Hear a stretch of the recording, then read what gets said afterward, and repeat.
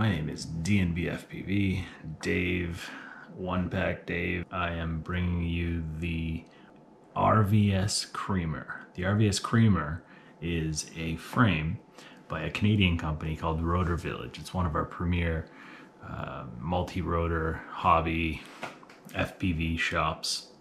We don't have many, but uh, here we go. The RVS Creamer is a line of mini quad frames uh, going from 5 to 5.5 and 6 inch.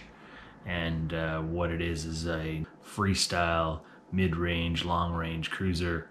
Um, and it looks to have some good Canadian beef to it. Uh, so the RVS Creamer is super awesome. I'm extremely excited to show off maybe the one and only Canadian made FPV mini quad frame. So without further ado, let's zoom in on this bit.